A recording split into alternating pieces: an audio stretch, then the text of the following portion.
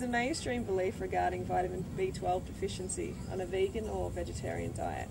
What is your take on this? B12 is a very misunderstood nutrient. For starters, there is no animal that produces B12. It's manufactured as the excrement of a specific type of bacteria. We need that excrement. We utilize that excrement. But it is simply the excrement of a bacteria.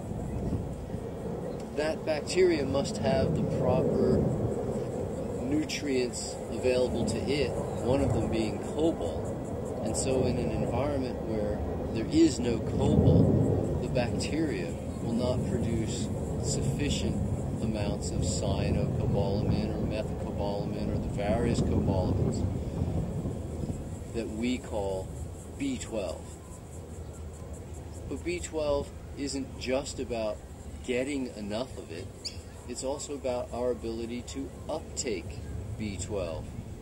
And so there are two parts there's the extrinsic uptake of B12 and the intrinsic ability or the, the extrinsic exposure to B12 and then the intrinsic ability for us to uptake and utilize B12. Fortunately, B12 bacteria or the bacteria that produce B12 are ubiquitous, meaning they're found almost everywhere.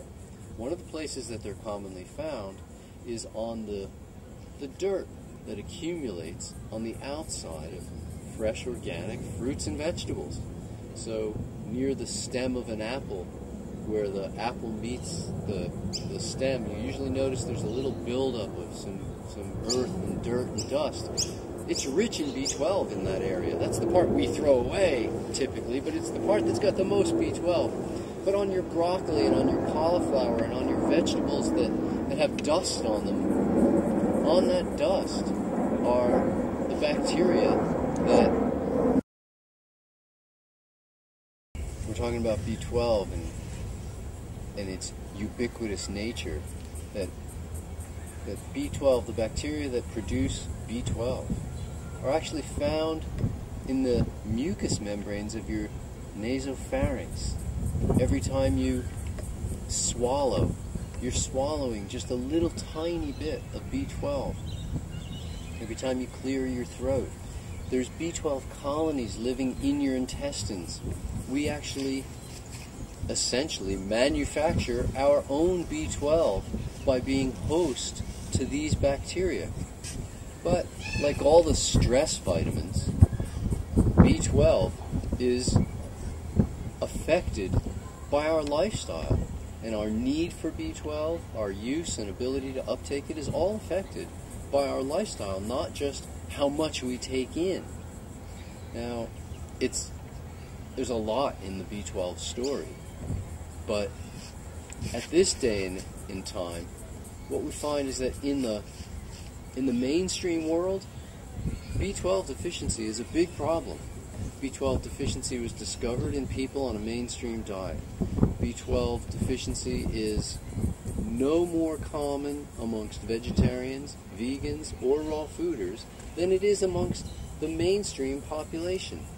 It's been proven that if a person goes B12 deficient, that if they start eating a bunch of meat, it will not help their B12 deficiency in any way.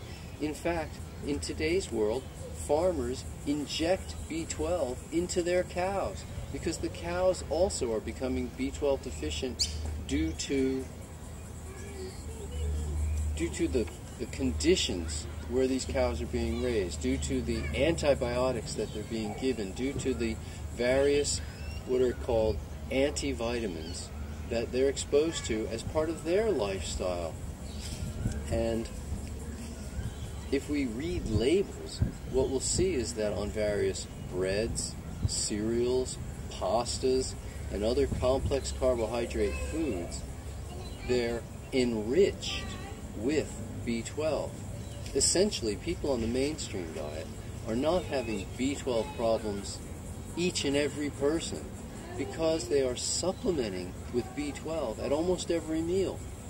When we stop consuming complex carbohydrates, and especially enriched ones, for a while, our B12 levels may sink low, but typically they'll come back up, rise to normal functional levels, and we can go through living a healthy life without ever thinking about B12 supplementation any more than any creature would. Of course, if a person has a problem, by all means, solve the problem. But we come up with two main options for solving a B12 problem. One is to just supplement and supplement and supplement and keep causing the problem. The other would be to buy yourself a little bit of time by supplementing and then correct the problem, eliminate the cause. Is it too much stress? Is it too much frozen food? Is it is it not enough sleep? Is it whatever the problem may be that's resulting in B12 deficiency symptoms? Fortunately, with B12 deficiency symptoms, they are slow to onset, they are slow to develop.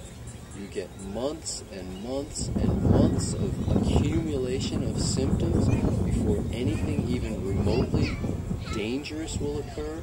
Uh, irreversible symptoms typically take years to before they accumulate, and and it's incredibly easy to find out if you're B12 deficient.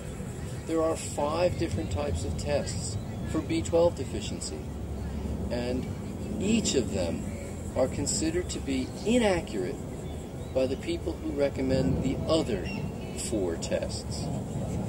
I tend to agree.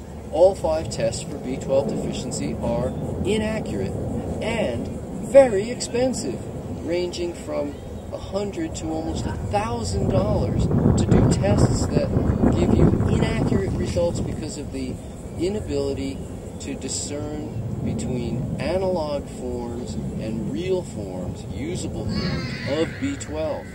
But there's an easy test, and the test costs either a dollar or two, or it's free.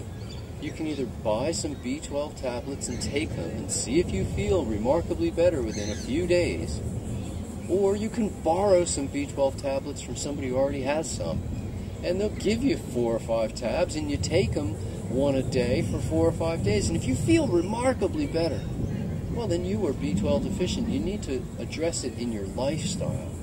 If you feel no difference whatsoever, then you probably weren't B12 deficient, and you can go on with your business.